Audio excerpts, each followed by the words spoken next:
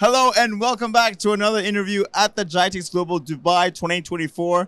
I'm Adel, the host, and today we have a special guest with us, Alessandro Budroni, Senior Cryptography Engineer at the Technology Innovation Institute. Alessandro, how are you doing today? I'm good. I'm great. Thanks.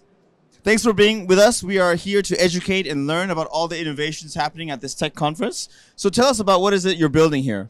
So, quantum computers uh, are a thing. They're being built all around the world. Uh, every year are larger and larger. They are cool, but they break the crypto systems that we use right now.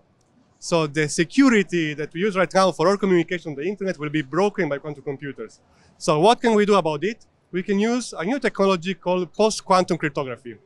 So that's why we say quantum resistant data security. So we provide uh, cryptographic solutions such as encrypting files, emails, uh, signing documents, but using a technology that resists to quantum computer attacks. Interesting. Uh, with quantum computing, is it what's the relationship between quantum computing and blockchain? Is there a relationship or no? There is not a relationship. Uh, The thing I can tell you is that blockchain uses digital signatures, and the one that is used right now is based on elliptic curves that will be broken by quantum computers. So also blockchain, to be secure in the future, will have to migrate into post-quantum solutions. Wow. So actually quantum computing is a better version of blockchain. They will break blockchain. Break blockchain. We need to move to post-quantum solutions so that uh, quantum computers will not break blockchain. and how does it break blockchain exactly? So digital signature are based on mathematical hard problems. So as far as these mathematical problems are hard to solve, the security is guaranteed.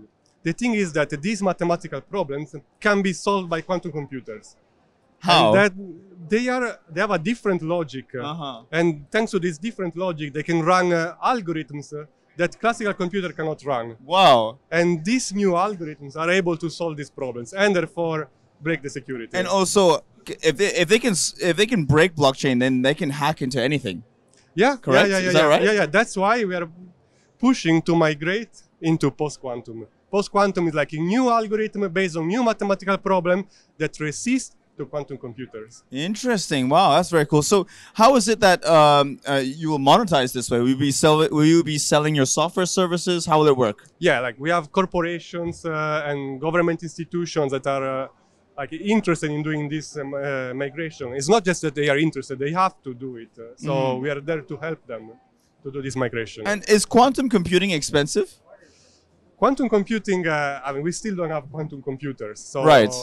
it's uh, it's hard to say yeah building a quantum computer is very expensive it takes millions of investment so yeah there are several players in the, in the world that are trying to build one like google ibm chinese government us government Uh, we are also trying to build one but uh, still we don't have one large enough we estimate that in 15 20 years there will be one What? Why is it so expensive? Though? Why does it take so like millions to, to create one? Yeah, you, you know, we still don't know exactly how to make wine on a large scale. Uh-huh. So it takes millions because you need to pay researchers, you need to pay the materials. We still need to develop uh, the technology to build one. Right, right. Interesting. Wow. So for those watching right now, if they're interested in using uh, post quantum software, how can they get in touch and get in touch with you? Well, they can just uh, Google uh, Technology Innovation Institute uh, in Abu Dhabi, and there will there will be like a contact page. They can contact us. In addition, we are hosting a conference uh, from the 12th to the 13th of November Hmm. in Abu Dhabi. It's called CyberQ.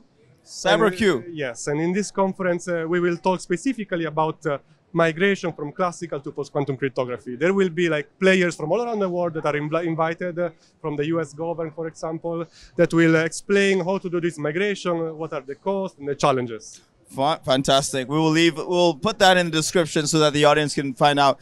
Alessandro, thank you so much for your time. Thank you.